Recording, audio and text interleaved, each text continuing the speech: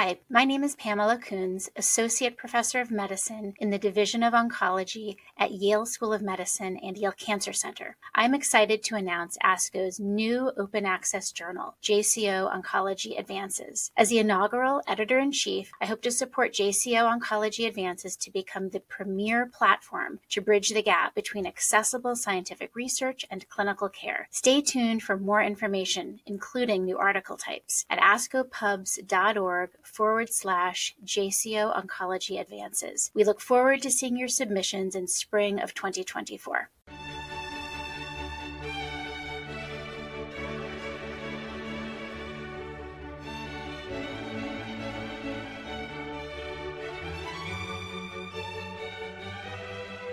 This JCO podcast provides observations and commentary on the Journal of Clinical Oncology article, quote, an EORTC phase 3 trial of adjuvant whole brain radiotherapy versus observation in patients with one to three brain metastases from solid tumors after surgical resection or radiosurgery, quality of life results, end quote, by Riccardo Soffietti et al. My name is David Osoba, and I am a quality of life consultant and a retired professor in the Department of Medicine at the University of British Columbia, Vancouver, Canada. My oncologic specialty is medical oncology. Patients who present with or develop brain metastases from solid systemic tumors present a therapeutic conundrum. Should asymptomatic brain metastases from solid tumors be managed by antineoplastic therapy to reduce the tumor mass in the brain?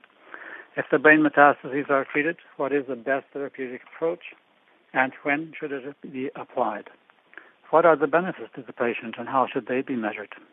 One thesis is that treatment directed at early brain metastases will benefit the patient by preventing potentially devastating symptoms and thereby improve health related quality of life.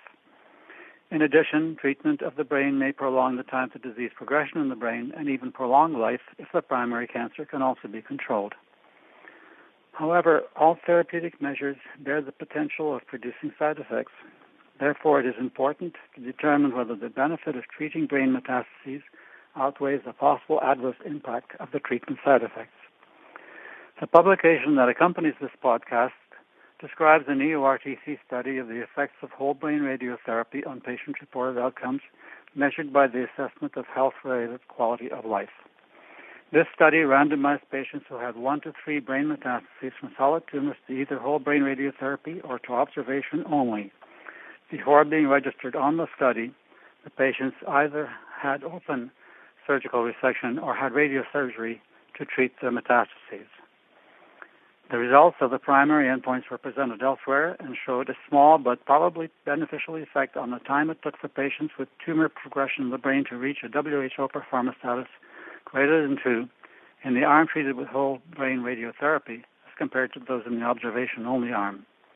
However, there was no difference in overall survival surgical salvage treatment of new or progressing brain metastases was required more often in the observation only arm than in the whole brain radiotherapy arm, 51% versus 16%. Fewer patients treated with whole brain radiotherapy died of recurrence in the brain than did in the observation only group. Thus, it might be expected that patients treated with whole brain radiotherapy would report better health related quality of life than would patients who were only observed. Measurement of health-related quality of life was a secondary endpoint in this study. After randomization to whole brain radiotherapy or observation only, patients' health-related quality of life was assessed at baseline and at eight weeks after start of local therapy, either surgery or radiosurgery, and every three months thereafter for three years, or until the WHO performance status reached greater than two, or whichever came first. The assessment tools were the EORTC QLQC30, a general self-assessment questionnaire designed for all patients with cancer, and the EORTC BN20, designed for patients with primary brain tumors. There are no pre-existing data on the expected direction or degree of change of the QLQC30 or BN20 scores in this population. Therefore, only six of the 24 scales and single items in these questionnaires were chosen a priori for detailed analysis in order to avoid the statistical problem associated with testing of multiple endpoints. The six scales were global health, physical, role, cognitive, and emotional functioning, and fatigue. Statistical significance was set at less than 0.05, and clinical relevance at a difference of more than 10 points in scores between the two groups. Problems associated with missing data were handled by currently acceptable statistical methodology. The results show that patients in the observation-only arm reported better scores in five of the five, five of the six aforementioned scales, that is, global health, physical role, and cognitive functioning, and in fatigue at one time or another during the first 12 months of follow-up as compared to patients treated with whole brain radiotherapy. Prior local treatments, open surgery or radiosurgery, did not have an effect on these results. Although the remaining scales and items on the questionnaires were not examined in detail, patients in the observation arm reported better social functioning, bladder control, and communication deficit, and less drowsiness, hair loss, motor dysfunction, weakness of legs, nausea and vomiting, and constipation than did those treated with whole brain radiotherapy. The authors offer some possible explanation for their results. Patients in the observation only arm were followed by regularly scheduled MRI and thus may have had an early detection of asymptomatic brain metastases. Subsequent salvage treatments may have been effective in maintaining health-related quality of life. However, if patients on the whole on whole brain radiotherapy followed a similar protocol, should they not have had an equal opportunity to benefit from the salvage therapy of early asymptomatic disease? Unfortunately, there's no information in the manuscript about whether this may have been the case. Another possible explanation for the results is that more patients in the group treated with whole brain radiotherapy had systemic disease progression as compared to the observation arm, 46% versus 33.5%, and the treatment of the systemic disease may have adversely affected the health-related quality of life results. Again, data pertinent to this point seems not to have been collected. Other limitations of the study were poor questionnaire completion rates resulting in missing data and a failure to assess neurocognitive functioning in more detail. Although this study was the first to assess health-related quality of life in patients randomized to whole brain radiotherapy or observation only, there are other studies on the effects of whole brain radiotherapy used with or without other treatment modalities. A recent literature review of the effects of whole brain radiotherapy concludes that neurocognitive decline is predominant four months after therapy, but may follow a biphasic pattern with a late irreversible impairment several months or years later.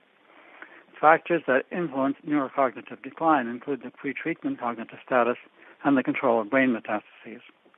Although neurocognitive functioning may improve with time, it has not been sufficiently assessed in long-term survivors. What are we to conclude from the above studies? It is difficult to make any firm conclusions. One obvious deficiency is that the completion rates of the quality of life questionnaires was poor. Since health-related quality of life was an endpoint, albeit a secondary one, missing data is a serious drawback to the clear interpretation of the results. Statistical maneuvering only supplies imputed values, which are calculated guesses, and does not really make up for missing data. It is time for investigators designing and carrying out clinical trials in which quality of life is an endpoint to view missing data that was not obtained even though the patient was alive and able to fill out the questionnaires as a protocol violation.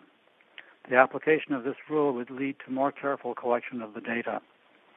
Despite the above weakness, it is clear from this and other trials that whole brain radiotherapy is not innocuous.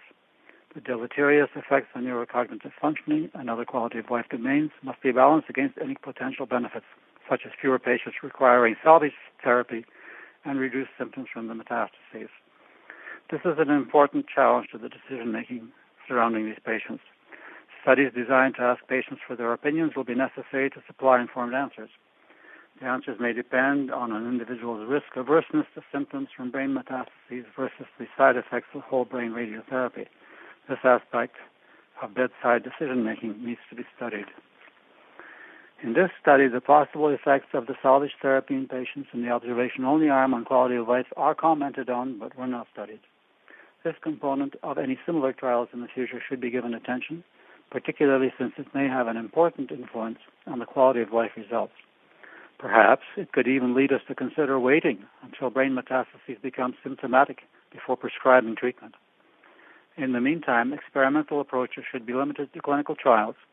The routine use of whole brain radiotherapy for asymptomatic brain metastases is not yet ready for prime time.